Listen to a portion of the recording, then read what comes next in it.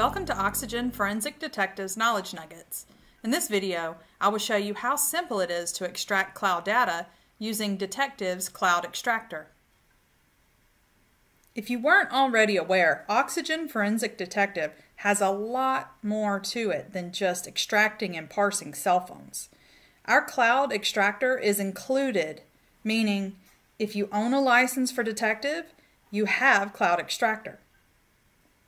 There are two ways to enter into the Cloud Extractor.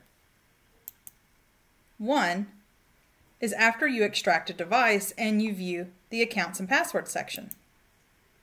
At the top of the screen, you will find the Cloud Extractor. If you access through here all accounts with usernames, passwords, and tokens will automatically populate into the extractor. The other location of your cloud extractor is on your home screen under Extract.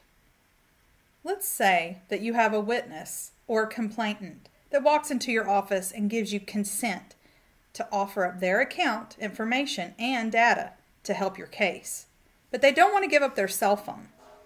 Do you take pictures or screenshots of their application information inside of the device and ask them to send it to you, or ask them to download their information directly and send it to you? The easy answer here is use the cloud extractor. If they're giving you their account information and their password, we can enter that information into the extractor.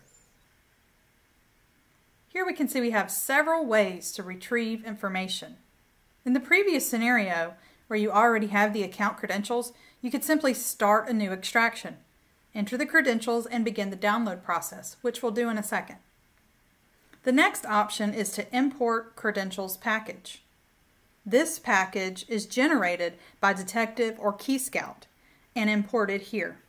Your third option down is to use an iCloud token from a Windows PC. And here is where you can download KeyScout, which is an on-the-go tool that captures tokens and passwords from a computer and creates the package mentioned above. This is also included with your detective license.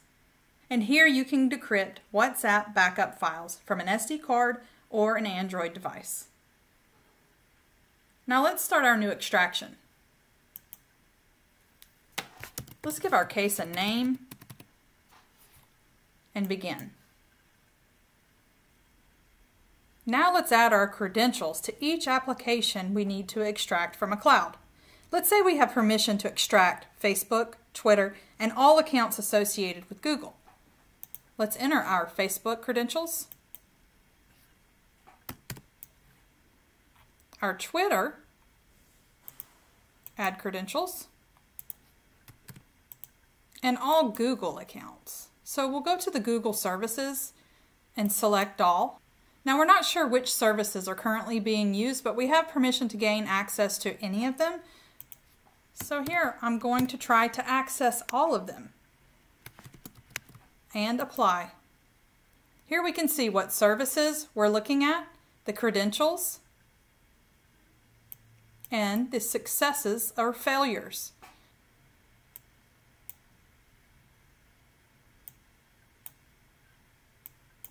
Let's try a new password that they gave us that it could be. There we go. All right, click your next button. Here we can see what categories have been exported and we can put a date range on it if we need to. Now the downloading process begins. Now that the downloads have completed, let's click Next. From this point, we can actually open this information in Detective and view it parsed.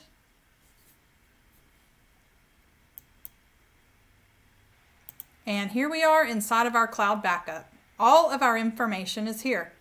And you can see all applications any data came from.